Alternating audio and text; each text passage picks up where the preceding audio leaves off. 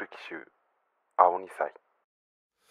どうしてまたこんなことを考えてしまう。考えてしまう。俺には何にもないなんて。がただ怖いだけ。思うように生きれなくて。茶化せる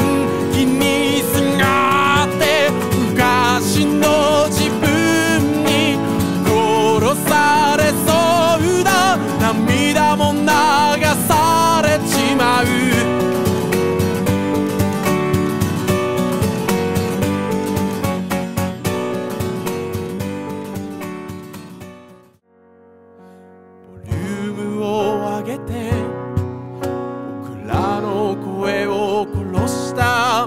誰にも知られないように。ロックンロールが好きだった。叶わないような夢も叶えてくれる気がした。あんたのことが大好き。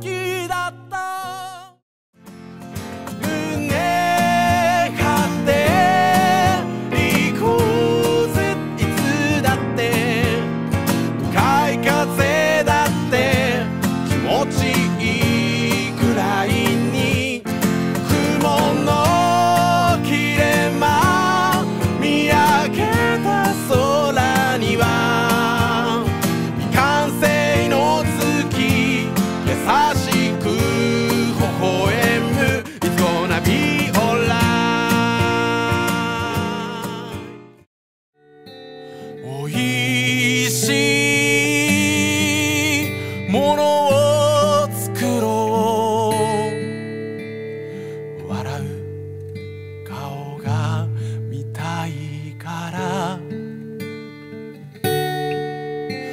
苦しい時思い出してほしいんだ。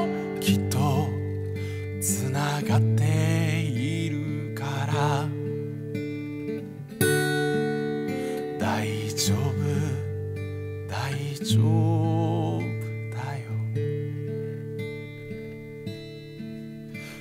なたのそばには僕が